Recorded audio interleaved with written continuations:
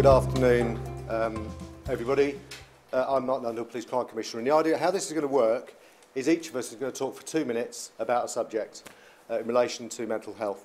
Um, and then we're opening up to the floor for about half an hour for uh, questions Uh, we've got some very notable people in the audience who probably got some really good questions for us. Uh, and I know and Andy has some questions that people have sent in as well. So that's how it's going to work. I will be the first speaker. Can I have the next slide, please? Thank you. So I'm going to be talking about the street triage pilot, something I'm passionate about. Uh, then next to me is Stan, and he's going to be talking about the uh, National Liaison and Diversion Scheme, which is designed to divert people from criminalisation uh, if they have a mental health issue. Uh, and then Andy is going to be talking about mental health awareness training that we do jointly between the university and the police and the trust. Uh, and then um, I'll keep you all in suspense with Simon. He's just going to talk about it means. Um, and we'll see how that lands. Right, my two minutes starts. What is street triage? Street triage, uh, I helped pump Prime Street Triage in Dorset.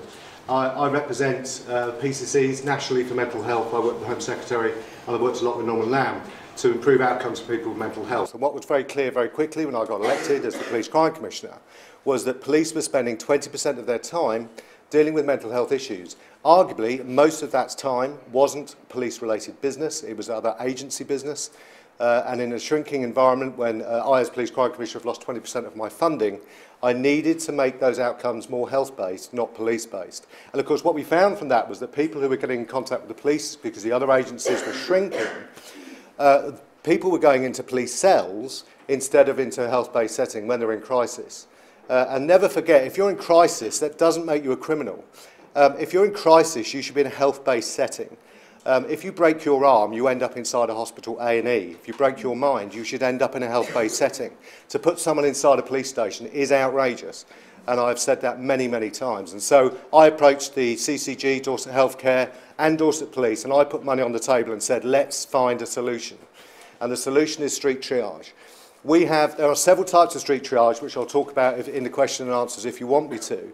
But what works in Dorset, because you can't have a one size fits all, is two different angles. The first is a mental health professional available to police um, when they come across someone in crisis.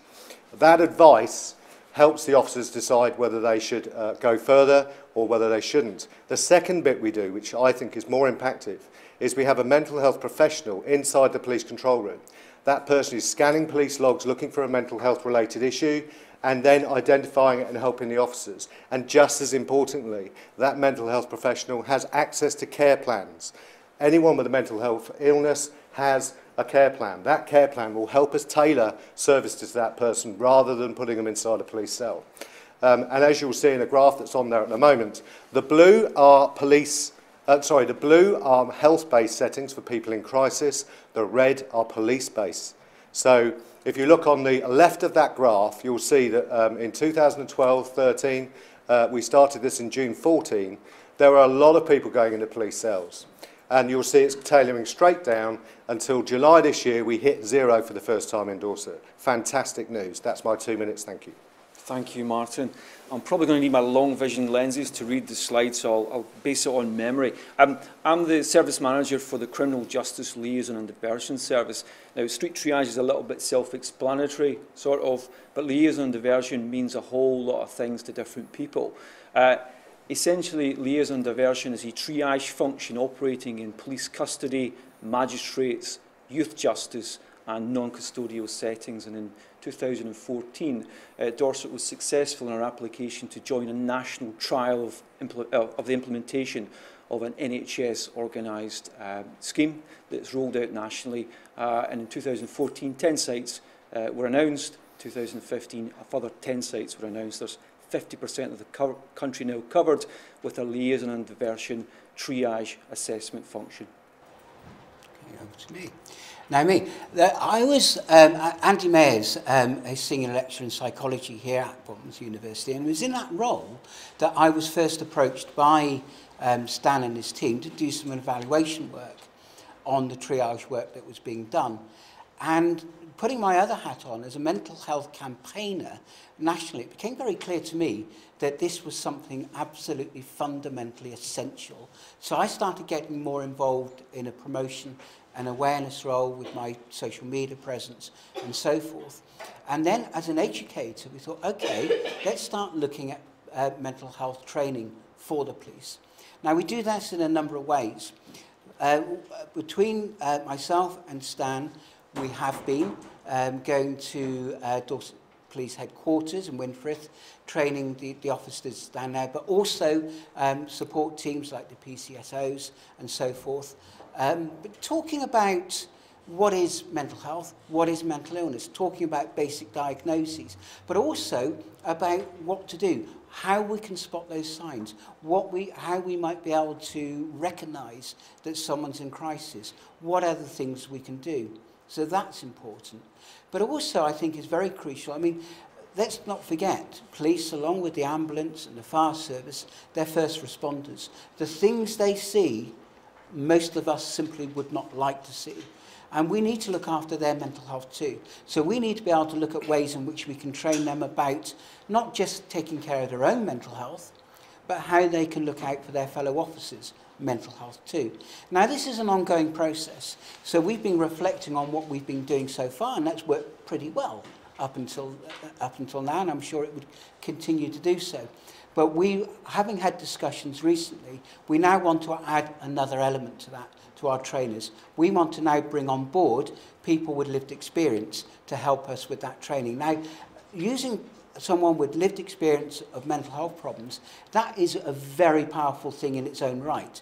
So that's what we want to do. But we think it's even more important that we bring on board people with that lived experience, but also experience of 135, 136, um, perhaps attending a police cell, to show what their experience was, how they felt. So this is ongoing, and we're certainly welcome questions about that later on. Can I just come in on that? Sorry. Um, a lot of people in the audience might not know what 135, 136 is. So the law uh, allows someone, 135 is in a private dwelling, 136 is in a public space allows the police to take someone in for mental health assessment. We talk about it flippantly, but a lot of people won't know that expression. So 135 is in a house, 136 is in a public space. Thank you, Martin. Simon.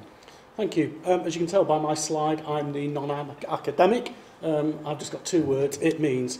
So what does it mean to us? Well, it means to police, um, operational police officers that Um, we are now in a position with our partners and victim support, Dorset Mental Health Forum, to deliver training to victims of crime who've got mental health issues and make them safe, uh, take safe.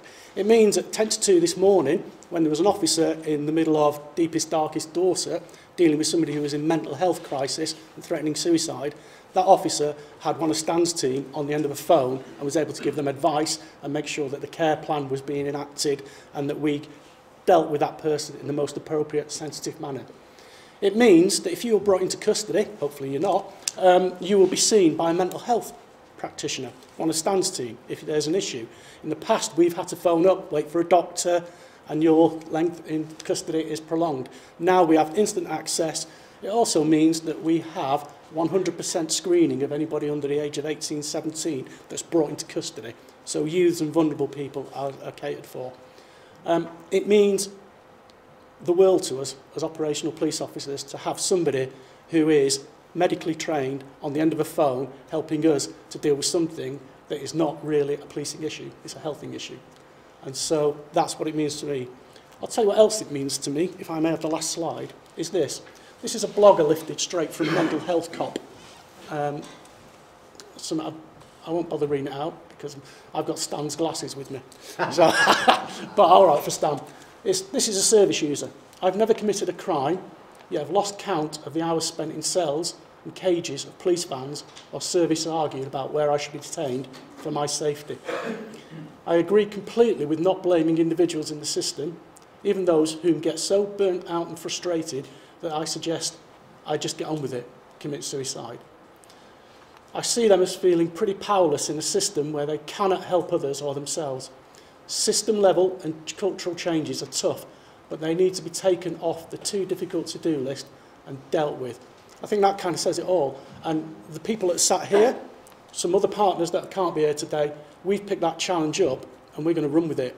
And we're going to hope that that is a never event in Dorset. If not, then minimise it by making sure they get the right, right treatment at the right time.